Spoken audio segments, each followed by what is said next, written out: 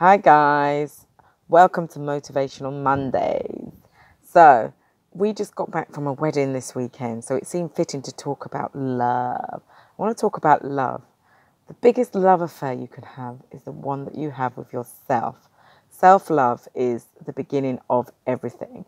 We teach people how to treat us based on how we treat ourselves.